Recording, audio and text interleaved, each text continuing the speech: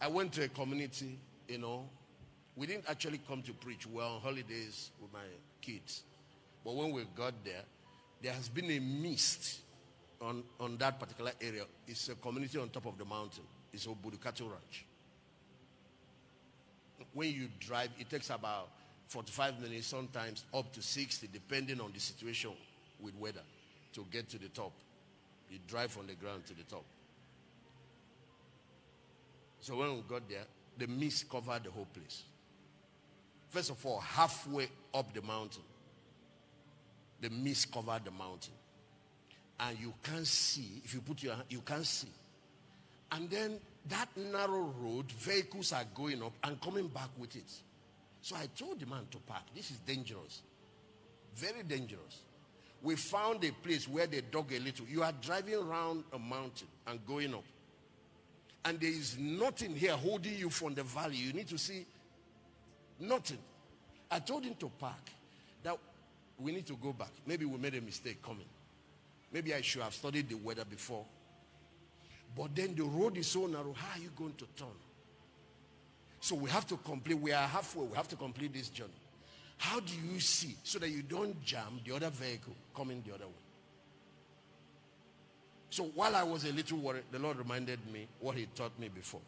He said, the way government is organized from federal to state to local government all the way to ward. He said, that's how divine government is organized. I said, what? He said, so anytime you run into issues that have to do with nature, talk to me or talk to in my name to the person I put in charge of that locality that manages that place for me. He taught me that angels read the book of Revelation. You see, some of these things you are talking about that's going to happen in the last days, whether it is tornado, earthquake, go and check. Angels at once administering. There's a time the, the light of the sun will be seven times as hot. One angel is in charge of heat. One angel is in charge of this. Sometimes a group of them are in charge of a particular area.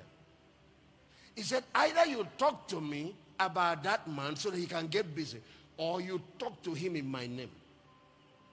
So I just remembered it. And, and my kids were there. I think about four of them, plus my, on top of this one. So I remembered. So I, I now relax. Revelation brings peace. So I said, I've come here in the name of the Lord. Whosoever is in charge of weather and in charge of this particular local government or this mountain, in the name of Jesus, I want you to lift the cloud so that we can pass. Two, not less than two minutes after I said that, the cloud lifted and the whole road became clear. I came with unbelieving mobile policemen. All of them gave their life to Christ because of this. Some of them were not northerners. When we got to the top of the mountain, we checked into the Protea Hotel, relaxed, you know.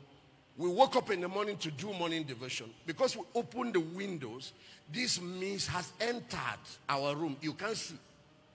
And then I opened the door to come out. You can't see. So I talked to the guy. He said he has been like this for three months. During rainy season, that's how it is.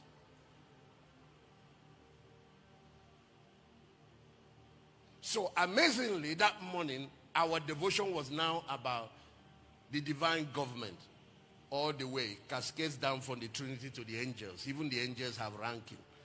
You have thrones, you have dominions, you have principalities, you have powers. So sometimes when we talk about principalities and power, we only think about the demonic. They only copied the structure of the military that they were serving in before they rebelled. Hmm? Colossians said he structured it like that, that all those things were created for him, by him, and for him. So we finished studying others. So I, I told the Lord, these kids, four of them are here with me. I want you to show them something so that their faith will be 100% consolidated. I'm not doing this to show off. I want them to learn something about you.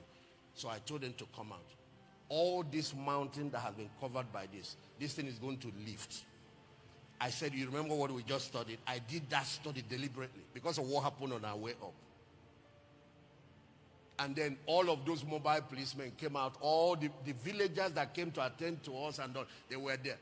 And then I said, Lord, whosoever is in charge of this place, whether it's local government chairman or county chairman, whatever he is in his rank that governs this mountain,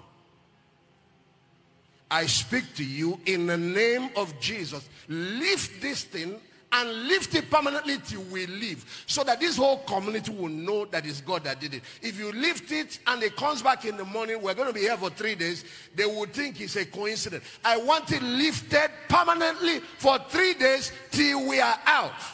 And within two minutes again, Pastor Poju, I have evidences. I also had pastors that drove all the way from Calabar to come and help us. They drove in their own convoy the whole mist lifted.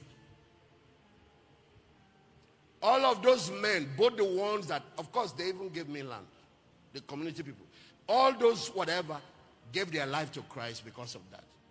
You see, what is making the miraculous look whatever to you is that you don't understand the laws.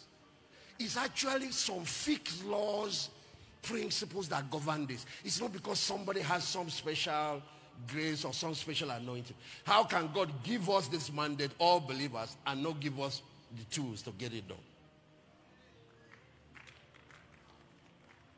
To let you know that the mandate was given to all believers, he didn't just say, This shall follow them that believe. Have you read John chapter 14, verse 12? He said, John 14, 12, Verily, verily, I say unto you, he that believeth on me. That's the only condition to meet. It didn't say if you have fasted 40 days. It didn't say if you have some special anointing.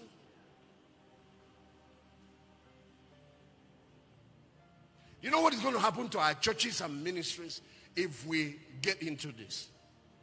What started following Jesus will start following you. Then you then learn the other things we're teaching to consolidate that harvest. No matter how skeptical an individual is, wait till he gets sick.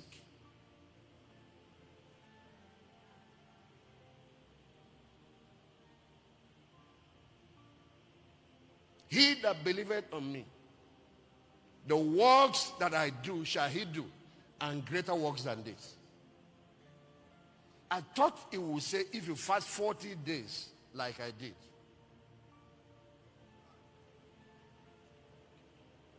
So I now wanted to know the basis why this will happen. He says, because I go to my father.